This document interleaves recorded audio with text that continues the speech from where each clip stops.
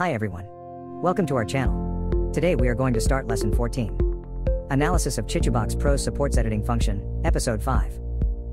In the last episode, we talked about the supports parameter settings and some notices. Today we will explain in detail how to add, delete and edit supports in CHITUBOX Pro and their shortcut keys. Number 1, adding, deleting and editing supports. Adding supports literally means adding different types of supports to the model. There are two ways. One is adding supports automatically, such as plus platform, plus all options. The other is to add supports manually, select plus function and add supports one by one. Using the auto supporting function, you can add supports to the model with one click, which can effectively help us improve work efficiency. Plus platform automatically adds supports based on platform only. Click it, the system will add supports to the model automatically according to the setting parameters.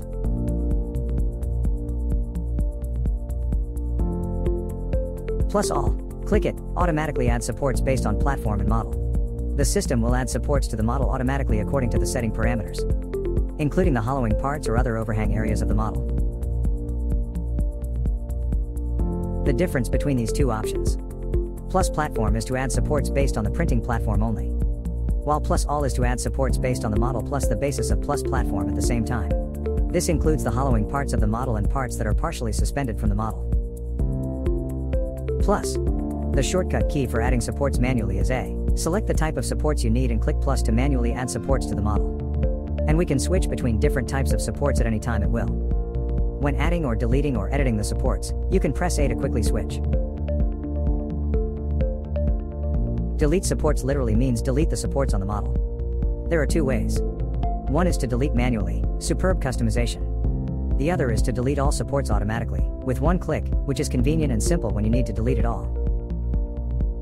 Minus, you can delete one single support or multiple supports by using this option. Click minus, move the mouse to select the supports that need to be deleted, then the selected supports will be marked in red, and then click minus or use the del key to delete it.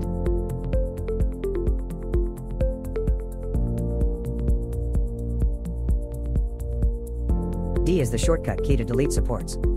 Use it to quickly switch to the delete state. Also, you can delete supports after selecting it.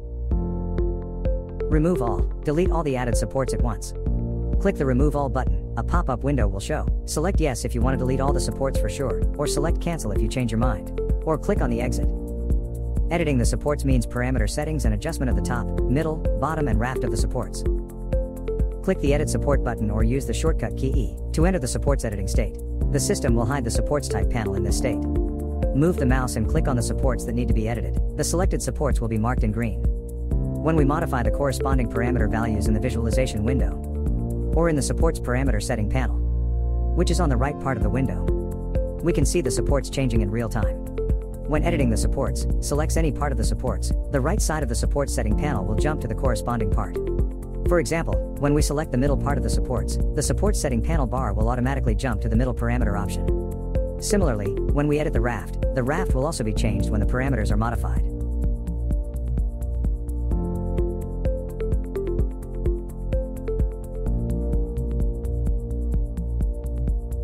Number 2. Shortcut keys for supports editing. Except for the shortcut keys A, D, E, Tab, etc., there is a special function bar for supports editing, which is on the left side of the working window. It provides five different kinds of selection line, brush, rectangle, polygon, and freeform, which enables fast selection of multiple supports or areas, and can effectively improve our work efficiency when editing supports. Line, the supports that passes through both ends of the line will be selected.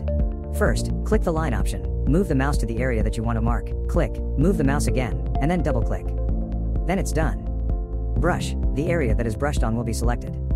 If you want to adjust the size of the brush, you can use Ctrl plus middle mouse button scrolling. For example, if you want to delete the supports. First, select the minus option and then click brush.